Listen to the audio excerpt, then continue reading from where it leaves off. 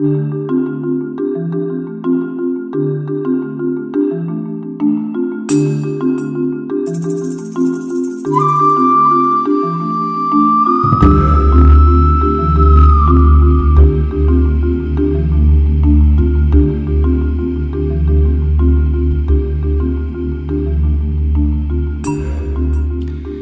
강령에게 심통 부리기 오늘은 효도와 효자에 대해서 이야기 나누겠습니다. 시금치의 시자 못지않게 효자의 효자 역시 대한민국 여성들이 가장 싫어하는 글자라는 우스개가 있습니다. 화병과 우울증을 호소하는 환자분들을 상담해 보면 효자가 되려는 남편과 그로 인한 부부 갈등이 원인인 경우도 많습니다. 부모에게 효도하는 건 좋은 일인데 왜 이렇게 부부 갈등과 온 집안의 분란의 원인이 되는 걸까요? 우선 화병으로 내원한 한 30대 여성의 사례부터 보시죠. 환자는 두통 때문에 머리가 찢어질 듯 아프다고 호소합니다. 물만 먹어도 꽉 채한 것 같고 아침이면 속이 미식거리면서 얼굴이며 손발이 퉁퉁 붓는다고 합니다. 이런저런 검사며 약물 치료도 받았지만 효과가 없었다고 합니다.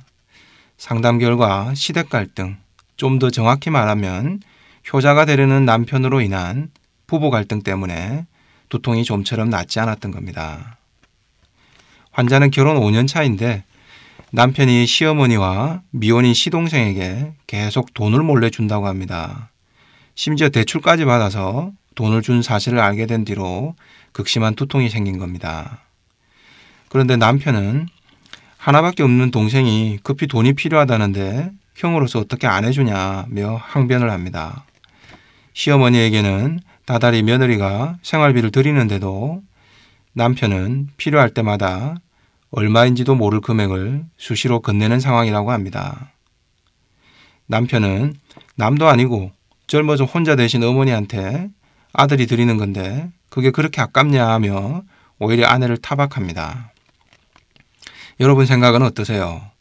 동생과 어머니를 살뜰히 보살피는 우애와 효성이 지극한 이렇게 착한 남편을 두었는데 환자가 너무 이기적인 건 아닐까요?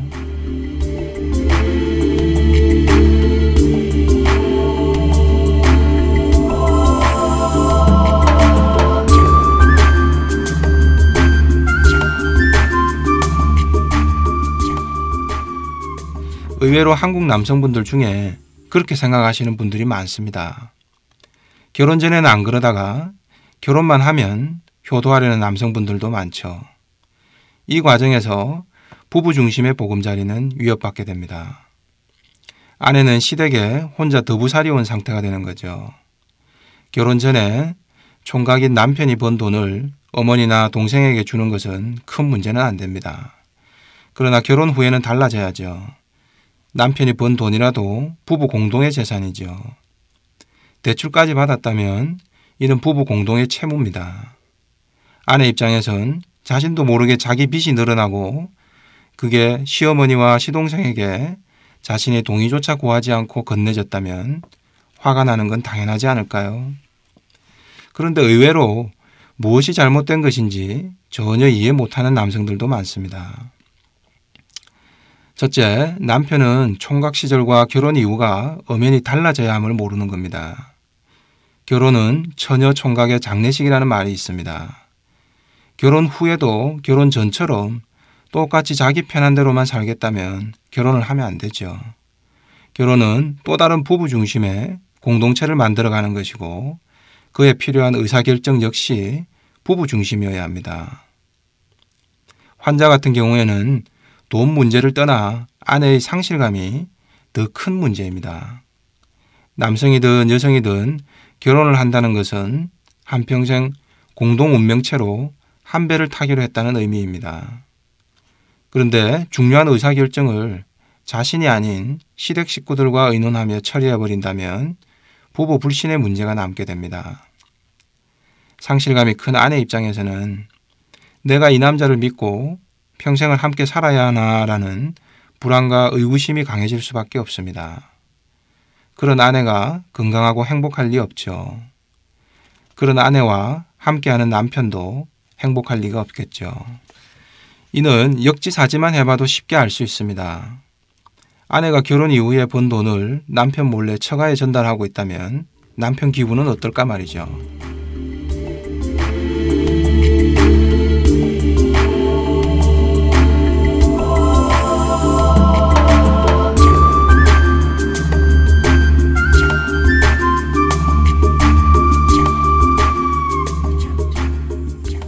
부부 간의 문제에서 며느리 대 시댁 식구의 대결 구도는 더욱 큰 문제입니다. 분별력이 떨어지는 시어머니나 시동생 입장에서 보면 마음씨 좋고 효심과 우애가 깊었던 자식인데 결혼 후에 못된 며느리이자 형수가 들어와서 자신들 마음대로 편하게 예전처럼 살지 못하게 됐다고 여기기 쉽죠. 남편의 효심과 우애를 채우려다 아내는 못된 며느리와 형수로 만들어버린 거죠. 남편의 행동 변화가 시급한 부분입니다. 그런데 보통 이런 경우 남편분들이 문제인식을 잘 못합니다. 왜일까요? 자신은 옳은 일을 하고 있는데 괜히 아내가 그걸 이해 못하고 속 좁게 군다고 여깁니다. 그런 착각의 명분을 제공하는 것이 바로 효도라는 것이죠. 자신은 효도라는 옳은 일을 하려고 하는데 효심이라고는 없는 아내 때문에 이런 분란이 생긴 거라고 여기게 됩니다. 그러나 이런 태도는 모두 효라는 개념을 잘못 이해한 데서부터 비롯됩니다.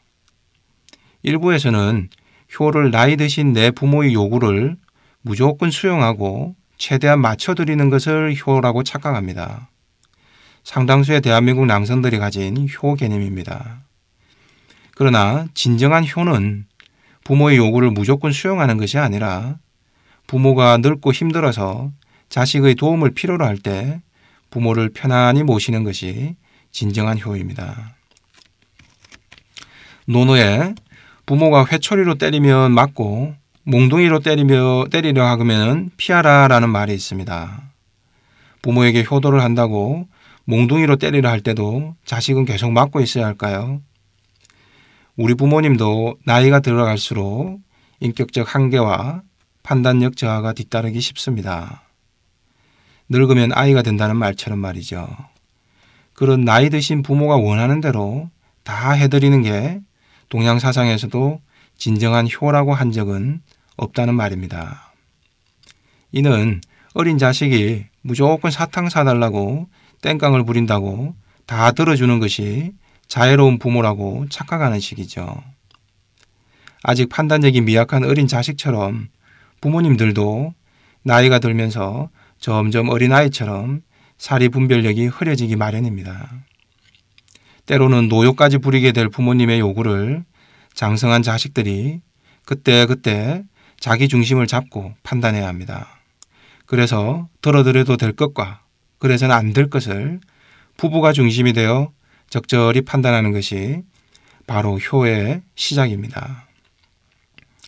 이가 썩을 것이 걱정이 되어 사탕을 사달라는 아이 요구를 잘 거절하는 것이 진정한 자애로움이며 끊임없이 부부간의 틈을 벌리고 이간질시키려는 부모의 노욕을 단박에 거절하는 것도 진정한 효도인 겁니다. 사람은 누울 자리를 보고 다리를 뻗게 됩니다. 그런 노욕을 자신이 효도라고 착각하고 계속 들어주니까 끊임없이 요구가 커지게 됩니다. 결국 아무리 들어주어도 그 욕심을 다 채우지는 못하기 마련이고 요구는 반복됩니다. 그러나 자식이 중심을 잡고 안 되는 건 안 된다고 거절하면 부모는 어느 순간 더 이상 노욕을 부리지 않습니다. 아무리 땡깡 부려봐야 우리 부모님은 이가 썩는다고 사탕은 안 사주시는구나 라고 어린아이가 깨닫듯이 말이죠.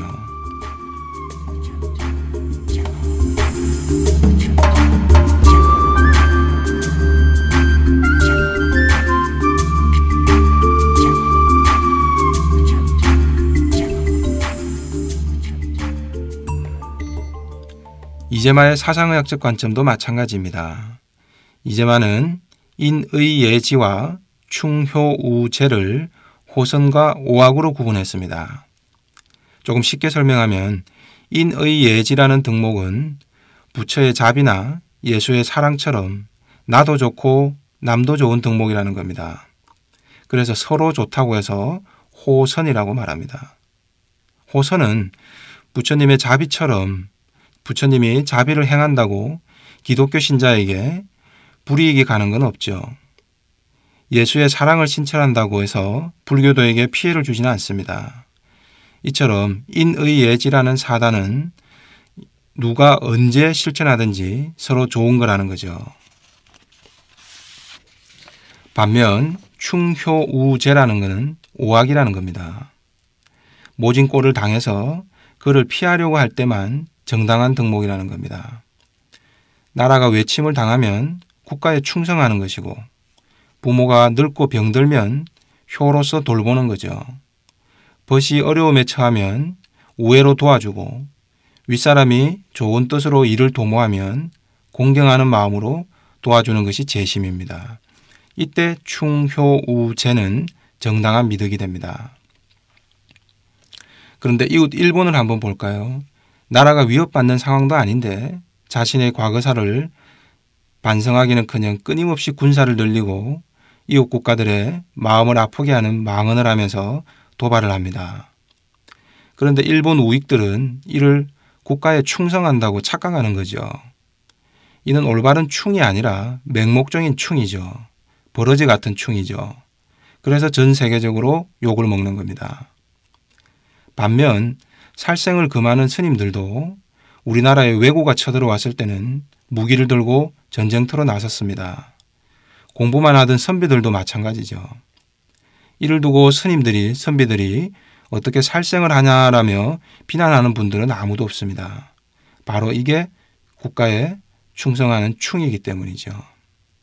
이처럼 내 나라가 위험한 상황에 놓였기에 왜구를 살상해도 이는 박수받을 일이지 비난받을 일은 아닌 겁니다. 충효우제에서 효 역시 마찬가지입니다. 내 부모를 맹목적으로 위하자고 노부모의 노요까지 다 맞춰주고 들어주는 것이 효가 아니라는 거죠. 위기 상황도 아닌데 일본이 군사를 늘리고 이웃나라를 괴롭히려 하는 것이나 마찬가지입니다. 그러나 내 부모가 노쇠하여 스스로의 힘으로는 삶을 유지하기 힘들 때 편안히 돌보아 드리는 것이 바로 오악 상황에서의 진정한 효가 성립하는 겁니다. 부모가 아직 건장하신데 맹목적으로 요구를 분별 없이 다 수용하는 것은 진정한 효가 되지 못하는 거죠. 이처럼 상황을 분별 없이 충효 우제를 실천하려는 것은 국가와 부모, 벗과 선배의 노예로 사는 것이지 진정한 충성도, 효도도, 우애도 아니라는 겁니다.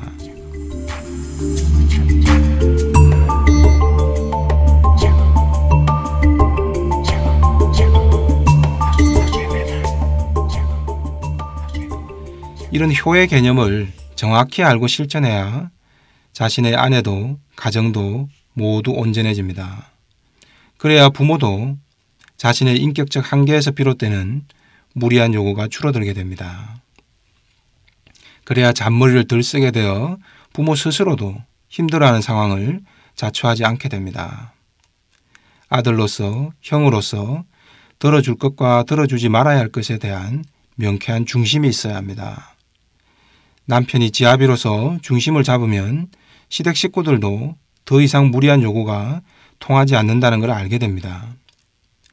그렇지 않으면 시부모들 중에는 자신의 뜻대로 자식을 부리고 싶어 하는 노욕으로 며느리를 더더욱 비난하거나 심지어 자식의 이혼을 종용하는 사례들도 적지 않습니다.